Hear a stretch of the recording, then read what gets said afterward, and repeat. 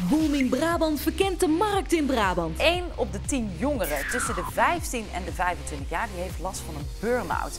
Ontdekt nieuwe initiatieven en ondernemers. Ik ben nou super trots op mezelf op wat ik ook hier op mijn eh, school en zo heb bereikt. Booming Brabant is kritisch. Als jij niet kan rekenen op een bepaald inkomen, eh, dan kan je daar ook eh, geen verplichting op aangaan. Maar met trots. Het zijn allemaal vormen van innovatie en ja, daar is Brabant eigenlijk ook behoorlijk sterk in.